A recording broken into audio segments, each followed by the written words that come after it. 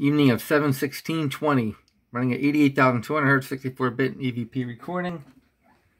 The EMF meter is still orange. It was chiming off. I've heard someone using you know GD word and cursing and a few other things. Different person. I've never heard this voice before. Uh, but this this voice here, I don't know who this is either, but they're not cursing. They're saying my name, Joseph Passon.